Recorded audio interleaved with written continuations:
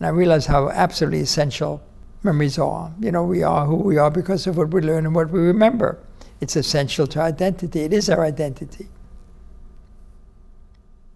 Up until 1938, we had a comparative, comparative freedom.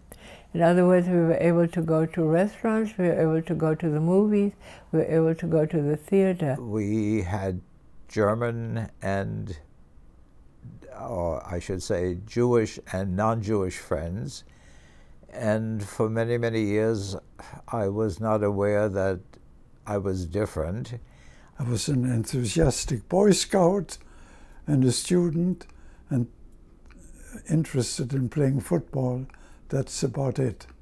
And privately, I took French lessons and piano, not with great success, but. I had a wonderful childhood. I had a grandmother all to myself.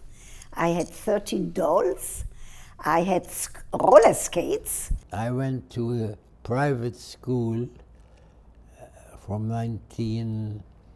Uh, 30 to 33 um, called Weinholze Privatschule and um, where the teachers were called aunt and uncle. And uh, it was a mixed school, boys, uh, boys and girls, and non-Jews and Jews. I was proud to be a Jew. And when we had to wear the star, Jewish star, I would never would hide it. I was proud. I said, everybody knows I'm Jewish. Then there came a day, I don't remember any discussion beforehand, when I was told that I could no longer go to that school. Teachers on the, uh, in the corridors, for instance, we had to greet them by raising our hands and saying Heil Hitler. I had a German girlfriend whom I adored she was everything I was not.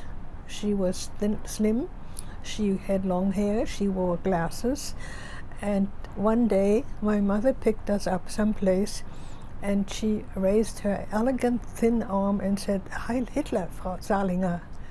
There was a billboard sort of in the center of town. Ironically, it was placed right across the street from the synagogue in town. And on it every week were placed pages from a Nazi newspaper called Der Stürmer. And of course, the pages that were shown always showed caricatures of, in addition to articles, caricatures of Jews, which were, uh, for want of a better word at this time, comic because it was so exaggerated. Everything they took away from us. So my father would say, let them have everything. The life they would live, give us, life they wouldn't take from us. We didn't really think that would happen in Austria. Hitler invaded on the 12th of March, 38. And the next thing I remember very vividly is the stormtroopers marching down the narrow street that was at the side of our apartment building. That uh, Nazi march, um, you know, the sound of the boots on the ground of put can put the fear. And we heard on the radio, which we listened to with, uh, with earphones, um, how in 200,000 people in Heldenplatz welcome Hitler with the most amazing enthusiasm you could imagine. And after the Anschluss, everybody was soon aware of a wave of arrests that took place of anyone who'd conceivably oppose the Nazis. And all of a sudden, they fired all the Jewish assistant associate and full professors. There's a chance for you to move up. So this was fantastic for the non-Jewish academics, and they took full advantage of it. The difference of feeling now to my last um, period in Vienna when you couldn't walk on the street without dread of something. You know, this total insecurity of the surrounding population um, that proved themselves untrustworthy. She said, Let me write to the cousins. So he said, All right. She wrote to the cousins, and by return mail, we had the affidavit for five, for four people, and that's what saved us our lives. I mean, America did not exactly make it easy. That's a myth, the open arms of the Statue of Liberty. I think that's unfortunately not true. Wasn't true then and is not true now. I recall that when we wanted to leave, people said to my mother, uh, Mrs. Mosheim, this is not really goodbye. It's just temporary. We know you're going to be back within six months or so when all this blows over. And then, of course, came Kristallnacht, and that changed everything. I climbed through the window to see inside, and it was horrible. It was a sight I will never forget. Everything was burned. The Torah scrolls were just thrown in, in, into a bin and they were half burned.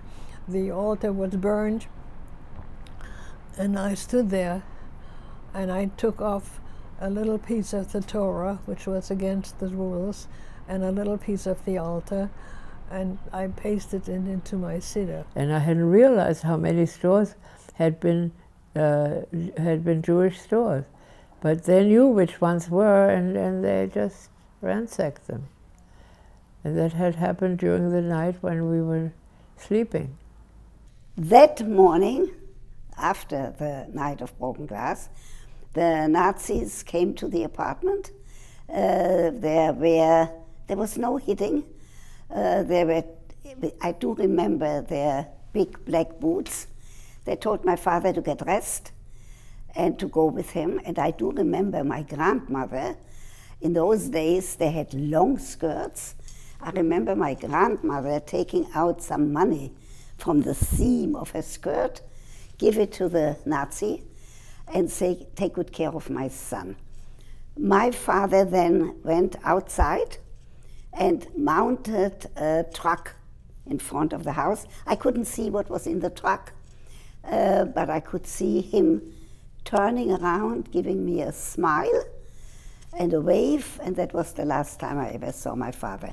I was selected to the last Kindertransport to Sweden in August of 1939. The Swedes saved my life by taking me in, right?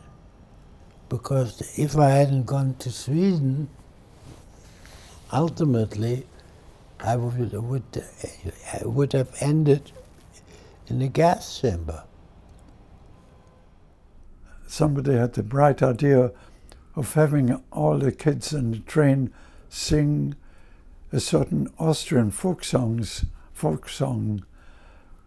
Muss sie denn, muss sie denn zum Städtle hinaus, which means, must I, must I leave my little town? And I see the comfortable demeanor of the people who are sitting there.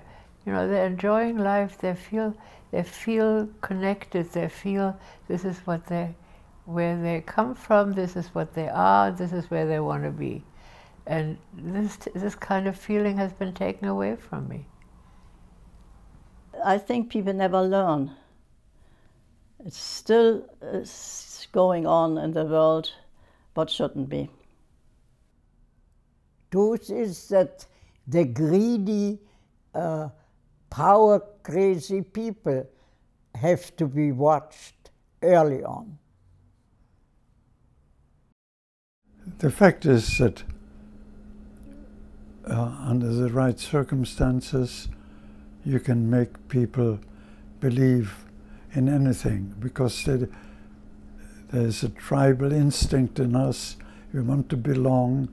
We want to belong to a group. We want to be suspicious of people who are different, who come from a different place.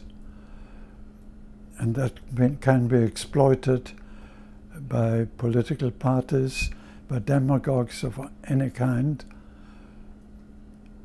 The only protection is to have a very strong democratic tradition.